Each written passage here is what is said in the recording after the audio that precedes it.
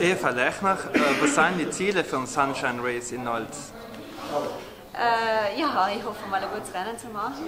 Ähm, es ist jetzt lang her, dass ich, dass ich teilgenommen habe. Und, äh, ja, meine Form wird alle besser, aber natürlich äh, äh, weiß ich im Moment noch nicht ganz genau, wo ich stehe. Und äh, ich hoffe, dass ich das Beste rausholen kann und dass ich, ja, toll war, war natürlich ein Podium und äh, werde alles dafür tun, dass, dass es für Sam reicht.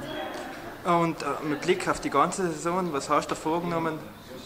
Ja, jetzt äh, erstens einmal möchte ich, möchte ich wieder ein bisschen äh, meinen Rhythmus finden und ähm, ja, die, die Freude im Rennen fahren und ich denke dann werden die Resultate auch noch kommen. Dankeschön.